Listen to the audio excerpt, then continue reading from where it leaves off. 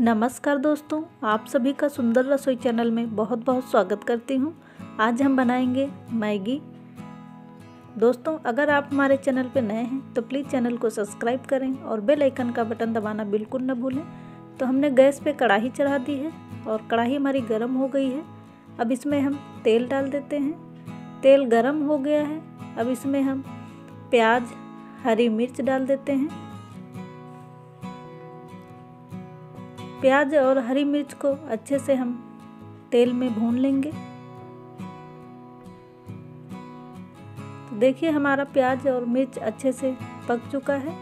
अब इसमें हम कटा हुआ टमाटर डाल देते हैं। टमाटर को भी अच्छे से हम तेल में पका लेंगे। स्वाद अनुसार नमक मिला लेते हैं।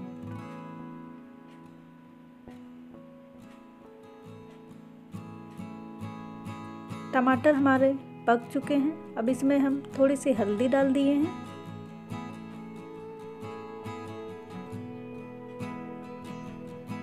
थोड़ा सा सब्ज़ी मसाला मिला लेते हैं।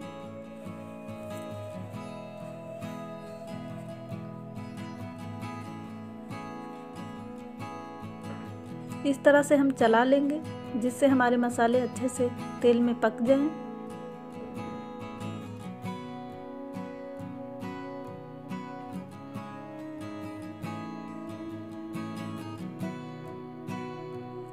अब हम पानी मिला देते हैं। पानी आप अपने अनुसार भी मिला सकते हैं, कम या ज़्यादा। अगर आपको ग्रेवी वाली मैगी बनानी है तो आप पानी ज़्यादा मिलाएँ।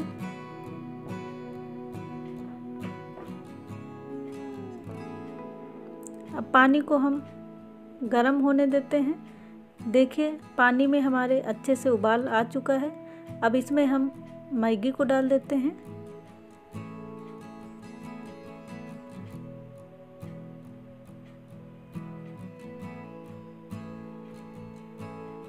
और मैगी मसाले को भी डाल देते हैं।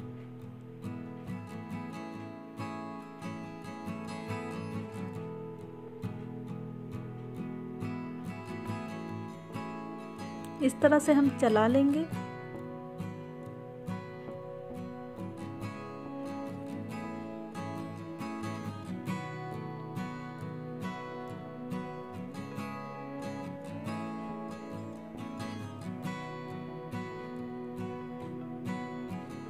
इसे हम पाँच मिनट के लिए ढक के रख देंगे, जिससे हमारी मैगी बहुत जल्दी पक जाएगी।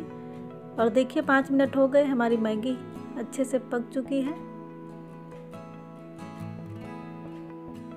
अब हम गैस को बंद कर देते हैं।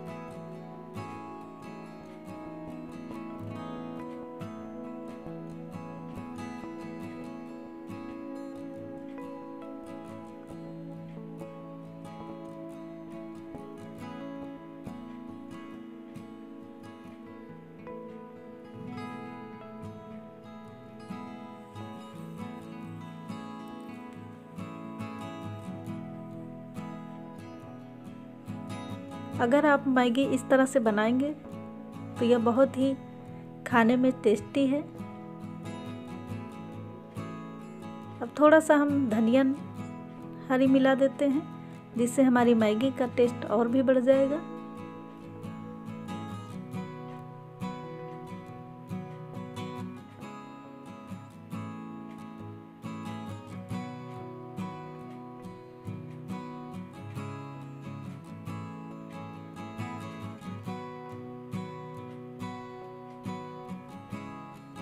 धनिया को हम मिला लेते हैं। तो देखिए, हमारी मैगी बन के रेडी हो गई है। यह खाने के लिए तैयार है। तो आप लोग भी इस तरह से मैगी बनाइए और खाइए। एक बार इस तरह से बनाएँगे तो आप बार बार इसी तरह से बनाएँगे। यह खाने में बहुत ही टेस्टी है। दोस्तों, अगर आपको मेरी रेसिपी अच्छी लगी हो तो प्लीज़ चैनल को सब्सक्राइब करें। वीडियो को लाइक करें, दोस्तों से शेयर करें, कमेंट करके हमें ज़रूर बताएँ मेरी रेसिपी कैसी लगी। अगली रेसिपी में फिर मिलेंगे। तब तक के लिए राधे राधे